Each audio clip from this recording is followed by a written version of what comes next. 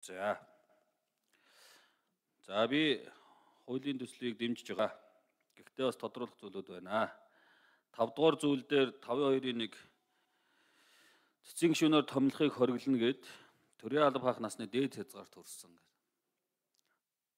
За 5. Томлохыг томлох үедээ 65 хүрээгүй л байх хэвээр. Гэхдээ өнгөрөх занд бас насны хязгаар хэтэрчээд хуулиар зохицуулагдаагүй ингээ явсан хууль зөрчилсөн тохиолдол гарч ирсэн томилох үед нь насны хязгаар хүрээгүй. Тэгээ бүрэн эрхийн хугацаанд дуусаагүй байхад насны хязгаар хүрсэн тохиолдолд яах вэ? Энэ бас нэг хуулийн цорхоо үүсдэг юм байлээ. Энэ одоо тодорхой болгож өгөхгүй мүү гэж ингэж нэг ч асууя. Хоёрт 19-ийн 2 дээр цэцгийн гишүүний хариуцлага дээр энэ гурван хууль буюу төрийн албаны хууль, авилгын эсрэг хууль, нийтийн албанд нийтийн ажил санхсаас өрсөн сэргийлэх Энэ гурван хуулийн холбогдох үүрэг хоригдол хязгаарыг л дагаж мөрдөнө гэсэн ингэж заавал энэ гурван хуулийг бусад цэцгийн гишүүд чинь ер нь бүх хуулийг л дагаж мөрдөх ёстой бидтэй. Энэ гурван хуулийг заавал ингэж тодорхойлж ингэж одоо үүрэгжүүлж байгаа нь ямар учиртай юм бэ гэдгийг хоёрт асууя. За гуравт бол энэ үнэхээр одоо хүний эрхийг хамгаалах хангах чиглэлээр маш том одоо нэг дэвшил гарч байгаа гэж би бодож байгаа. Иргэн хүн бас одоо цэцээр өөрийнхөө үндсэн хуулиар олгогдсон одоо асуудлаа шийдвүлэх нэг буцаа боломж гарч ирж байна гэж харж байгаа. За тэгвэл одоо 21-ийн 1 дээр цэцгийн дарга гишүүнийг игүүлэн татах асуудал. Цэцгийн дарга гишүүн хууль зөрчвөл, хууль зөрчвөл. Эрүүгийн хууль гээгүй шүү. Хууль зөрчвөл бүх бүх хууль зөрчсөн тохиолдолд энэ нь нотлогдоод баримтлаа явал одоо эргүүлэн татах асуудлыг цэц дээр яригдах нь ба штэ. За тэгвэл өнгөрсөн хугацаанд ёс зүйн асуудлууд за одоо үндсэн хуулийн цэцэн гişүүд нэх айхтар одоо эрүүгийн хуульд гэдэг юм уу авилгын хуульд одоо холбогдоод явах асуудал бол ховор бах. Ховор бах. Харин ил дараалан цэцгийн гişүүдийн ёс зүйн гаргаж байгаа үйлдэлүүд гарч байгааг та бүгд мэдж байгаа шүү дээ. Эрүүгийн хариуцлага хүлээх хэрэггүй. Ёс зүйн хариуцлага хүлээх асуудлууд. Энд чинь өөрөө төр бол төрийн нэг институт. Тэгээ энийг дагаад төр төрд итгэх иргэдийн итгэл алдарж байгаа. Тэгээ нөгөө нодлон жил цэцгийн гişүүн онгоцон дотор ямар асуудал боллоо? Саяхан л одоо ажлын байран дээр яаж аригтаар сэргэлээд явж гин гэд. Ингээд энэ бол төрийн өндөр албан тушаалтнуудын ёс зүйн асуудал. Энэ тохиолдол бол хэвээрээ хадгалагдаад үлдэж байна. Ямар ч хариуцлага хүлээхгүй нэ энэ тохиолдолд. Эргүүлэн татагдах асуудал хөндөгдөхгүй. А гэхдээ өөр нэг ямар нэг хариуцлагын асуудал байхгүй мó захиргааны хариуцлага. Ёс зүйн хариуцлага хүлээлгэх асуудал бол энэ одоо ёс зүйн алдаа зөрчил дутагдал гаргадаг дээр. Бид нодлон төрийн албаагчийн ёс зүйн тухай хуулийг баталсан. Батэрдэн авраг маань одоо ажилласаа явах Батэрдэн юу Батөмрах эднэр Тэгэд төрийн дунд чадныхын төрийн захиргааны албан тушаалтнууд төрийн албаагчийн ёс зүйн тухай хууль яриад идэг харин цэцгийн гişүүдээр ёс зүйн асуудал зөрчил дутагдал гаргавал яах юм бэ Эн чинь эсрэгээрээ баг эрүүгийн хууль, авилгын хууль холбогдсоноос илүү төрийн одоо иргэдийн уур бухимдлыг хүргэсэн асуудлууд үүсээд байна шүү дээ. Энэ дээр одоо энэ хуулиар ямар зохицуултыг хийж өгсөн бэ гэдгийг асууя. Гуравт нь за зөвхөн цэцгийн гişүүдээс гадна цэц одоо ажиллаж байгаа туслах тий ажилтнууд байна.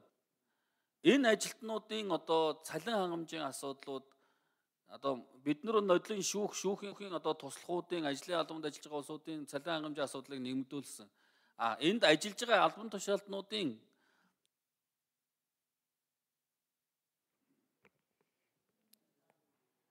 За. За мөнх хөргөлөгч хариултаа бэлдэж хооронд мэдчилгээ төвшүүлье. За өнөөдөр Навризын баярын өдөр улсын их хурлын эрхэм гишүүдээ ард иргэдээ Өнөөдөр урин хавар айлчлан ирж өдөр шөн тэнцсэн өдөр тохиож нарны баяр хаврын баярыг манай улсад өргөн тэмдэглэн өнгөрүүлж байна. Наврис хэмээх энэ хаврын баяр нь Казах төмний төдийг хүн төрлөختний баяр үлээ. Тиймээс нэгдсэн үндэсний байгууллагын ассамблеийн 64-р хуралдаанаас олон улсын баяр хэмээн албан ёсоор баталж ЮНЕСКОгийн дэлхийн халдшгүй соёлын хувьд бүртгэн тэмдэглэдэг энэхүү баярыг дэлхийн олон оронд ёслол төгөлдөр тэмж байна. Манай улсын хурлын дарга Зандан Шатар мөн Казах түмэнд өөрийн бээр баяр хүргэхээр Баян-Улгийн аймгийг зорьсон байгаа. Тэгээ улсын хурлын гишүүн Тэлэг хааны Авбакир, Боланданы Бейсэн, Хавдисламын байдал болон ажил хичээнгүй Казах түмэндээ энэ сайхан нарны баяр Навризын баярын мэндчилгээг дэвшүүлж эрх чөлөөт Монгол их орондоо аз жаргалаар бялхан амьдарч ажил үйл амжилт бүтээлээр цалгиж Алтайм бүргэд мэд хэмэртэй байхын үлзийтэй өрөөлийг өргөн дэвшүүлье.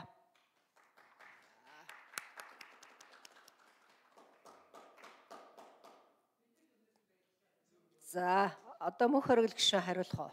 За. За баярлалаа. Сандаг очир гişүний асуултанд хариулъя. А энэ төрийн алд паших дээд насны хязгаар хүрээгүй байхад бол томилж болно. А таны асууж байгаа асуулт бол томилогдоод явж байгаа хооронд хооронд дээд насны хязгаар хүрчлээ шүү дээ тийм ээ. Тэр яах вэ гэдэг асуудал гарч байгаа. Тэрэнд бол үндсэн хуулиар баримтлана. Үндсэн хууль бол цэцгийн гишүүнийг 6 жилээр томилно л гэж байгаа. Тэгэхээр одоо тэр хүн бүр томлох дээд насны хязгаартаа тулчаад 64-т томлогч гэж бодоо тийм үү. Тэгвэл үндсэн хуулийн заасан 6 жилээ баримтлаад тэр хүн 70 нас хүрэл тэтгэвртэй гарна л гэсэн үг. А тэрнээс биш 64-т томлчоод жил ажиллаж исэн чи оо та 65 хүрчлээ. Тэр багт дээд насны хязгаар хүрчлээ гэд тэр хүнийг албан тушаалсан чөлөөлчих юм бол бид нар цэцгийн гишүүнийг 6 жилээр томилно гэсэн үндсэн хуулийнхаа шууд заалтаа зөрчилдөж байгаа байхгүй. Тэрэнд нь уялдуулж байгаа. За тэр 19 хоёр цөөхөн хэдэн хууль заасан байж тээ гэж. Энэ бол цэцгийн гишүүнийх нь хувьд бол онцгой анхааруулж байгаа залтууд байхгүй. Цэцгийн гишүүн төрийн албан хаагчийн хувьд. А эргэн хүний хувьд мэдээж захирал хэргааны бусад хуулиуд тэгэл нөгөө зөрчлийн хууль, эрүүгийн хууль одоо ямар хууль байдгийг замын хөдөлгөөний дүрм мөр бүх юма дагаал явна шүү дээ. Тэр бол цэцгийн гишүүн гэдэгт нь тодруулахгүйгээр явж байгаа байхгүй. Тэр ёс зүйн хариуцлага гэдэг би түрүүн тайлбарлаж хэлжсэн те одоо хүчин төгөлдөр хуулиар бол гэмт хэрэг үйлдэл хариуцлага хүлээж байна гэж. Тэгэхээр энийг бол бид нар хөгжүүлээд хариуцлагыг нь өндөрлжүүлээд хууль зөрчүүл гэж. Хууль зөрчүүл гэдэг нь өөрөө үндсэн хуулийн заалт байхгүй юу? Бүх төрлийн хууль зөрчүүл гэж. За ёс зүйн хариуцлага яах юм бэ гэхээр сандаг очир гүшүнэ. Эн чин төрийн албан хаагч чинь одоо нийт төрийн албаныхаа хуулиар л явж байгаа шүү дээ. Төрийн албаны зөвлөлдөр зөвлөлийн дэргэд чинь ёс зүйн хороо байгаа шүү дээ.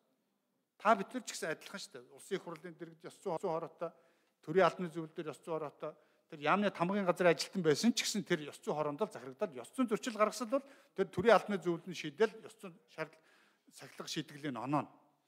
Тэгэхээр тэн дээр бол одоо юу гэдэг нь цэцгийн гişүүдэд бид нар одоо илүү нөхцөл болцоо олгоод хариуцлага тооцохгүй болгож байгаа юм бол ерөөсөө байхгүй. А зүгээр нэг хэн асуудал байгаа юм. Цэцгийн гişүүнд хариуцлага тооцох нэрээр цэцгийн гişүүний одоо үйл ажиллагаа гарах шийдвэрт нь нөлөөлөх тооцоонд илүү байгаа байхгүй юу? Илүү байгаа байхгүй юу? А чи тэнд арх хууж ирсэн, чи тэнд мөрөөдө тоглож ирсэн, чи тэр одоо янз янзын юм хийсэн гэж дарамтлж яагаад а одоо энэ шийдвэрийг ингэж гаргах гэж шахах эрсэл нь илүү өндөр. Яг бол энэ чи эсүүлэх нэ а гаргаж байгаа шийдвэрүүд нь дандаа үндсэн хуулийн заалттай төрийн тогтолцоотой холбоотой улс төрийн өндөр агуулгатай шийдвэрүүд гэдэг учраас бас тодорхой хэмжээний юу гэдэг хамгаалтанд байх хэрэгтэй. Тийм ч учраас энэ хуулинд бид нар тэр цэцэн гиш